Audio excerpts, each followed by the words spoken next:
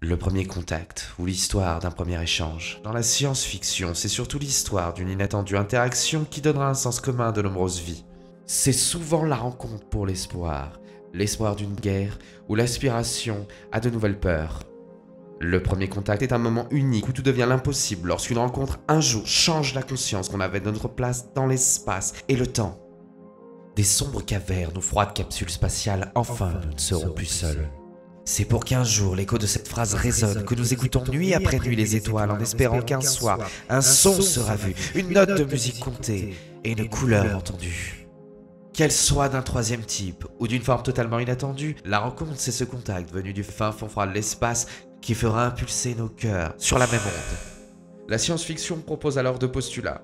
Soit nous sommes contemplatifs et attendons de recevoir un message, un message qui nous donnera une adresse, les plans d'une machine, ou les moyens d'émettre une réponse. Soit dans le second cas, nous avons pris les devants, et c'est par un face-à-face de façon charnelle que se fera le premier contact.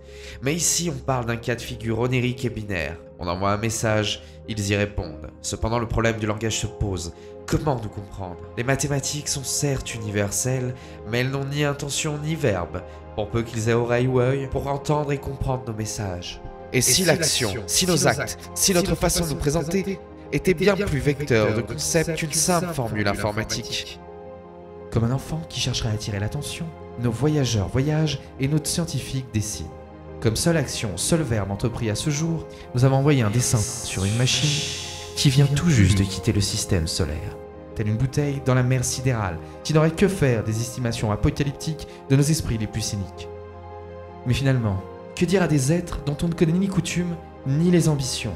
Sont-ils comme nous, comme eux, belliqueux ou pacifistes Amoureux ou destructeurs? Si nous sommes dans l'attente d'une réponse, il y a fort à parier qu'ils sont plus avancés que nous. Dans ce cas, notre propre histoire n'a pas su nous donner une bonne conclusion. Si les extraterrestres nous rendaient visite, le résultat serait plus important que lorsque Christophe Colomb a débarqué en Amérique, ce qui n'a pas forcément réussi aux Amérindiens. Nous pourrions commencer par Nous venons en paix.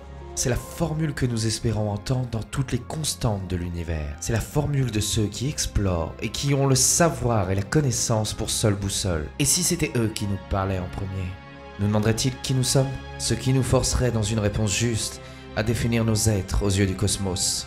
Ils peuvent aussi nous demander ce que nous voulons, ce qui nous forcerait à définir nos prétentions sur le cosmos. Quoi qu'il en soit, le premier contact est l'art de jouer le vieux jeu de la vie, à si vaste échelle quels sont notre infini besoin de chaleur et cette nécessité de rencontre dans un théâtre cosmique? On rencontre un homme, une femme, un regard qu'on aimera un jour, hier, toujours, dans un système où les valeurs de temps n'ont plus de raison de subsister.